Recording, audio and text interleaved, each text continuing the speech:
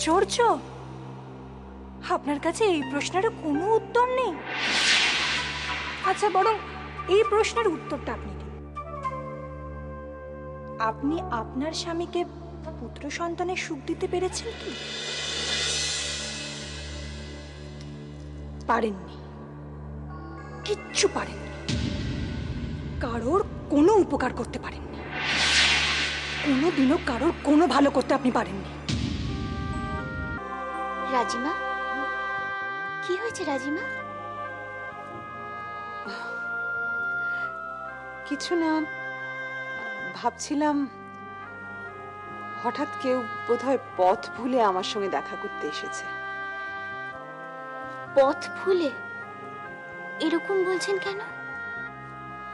মানুষের অন্তরে একবার কারোর জন্য যে সম্মান বা গুরুত্বের স্থান তৈরি হয় সেটাকে কিন্তু হাজার কুকথা দিয়ে বা হাজার বল প্রয়োগেও নষ্ট করা যায় না। আমার শ্বশুরমশাইকেও তো দেখেছি। বারবার আপনার প্রশংসা করতেন। বলতেন, দেবী জাহ্নবীর মতো এমন মমতাময়ী, রুচিশীলা আর দরদি নারী নাকি দুটি হয় না। উনি তো ঠিকই বলতেন, রাজিমা। না, রেবতী, আমি ভাবছিলাম মিহির তো অত্যন্ত মেধাবী। মিহিরের অনেক গুণ।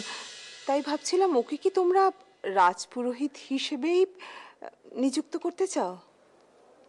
রাজিমা আপনি আপনি কি বলছেন? আমি কিছু বুঝতে পারছি না। আর রেবতী আমার মনে হয় সবার আগে একবার মিহিরের সঙ্গে এ বিষয়ে কথা বলা দরকার। তাকে জিজ্ঞেস করো ও কি সত্যিই রাজপুরোহিত হতে চাইছে নাকি? বাহ! চমৎকার। গাফিলতি। আপনি এসব কথা বলছেন কেন? ঠিকই বলছি। তোমার স্বামী তো এই দেশের রাজপুরোহিত। বলতে গেলে ব্রাহ্মণ সমাজের একজন গুরুত্বপূর্ণ প্রতিনিধি। তাকে দেখে তো প্রতিটি লোক শিখবে। তার তো এটা জানা উচিত ছিল। আমাকে এসব কথা কেন বলতে হচ্ছে? আভেরি আমি রেবতীকে বলছিলাম যে একবার একবার মিহিরকে জিজ্ঞেস করা উচিত, ও কি করতে চায়। আর তুমি কি বললে? তুমি বললে আমি নাকি চাই না যে মিহির রাজপুরোহিত হোক। আমি নাকি মিহিরের ভালো চাই না। ঠিকই তো বলেছি।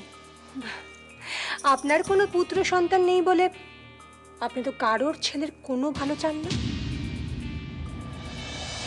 দেবী জাহ্নবী, আপনি কি মনে করেন কি? আমি কিচ্ছু বুঝি না। আমি সবার মতো বোকা। পূর্ণিমা? আপনি দয়া করে রাজিমাকে এসব কথা বলবেন না। আমি আর তোমাদের রাজিমা মীরের উপনয়নের বিষয়ে ওনার সাথে আলোচনা করতে চাইছি। তাই ওনার সঙ্গে দেখা করতে চাই। ঠিক আছে।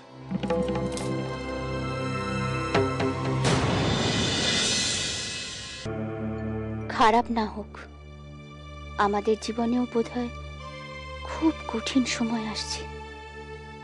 আমি তো চাই মিহির রাজপুরোহিতই হোক। কিন্তু রাজিমা তো বলছেন, মিহির যদি অন্য কিছু হতে চায়, মিহির কি সত্যি অন্য কিছু হতে চায়? ও কি চায়? জানি না। জয় কি ভাবছ? হুম? না ভাবছিলাম যে তোমরা দুজনে গণনা বসলেই ভালো হবে। অবশ্যই।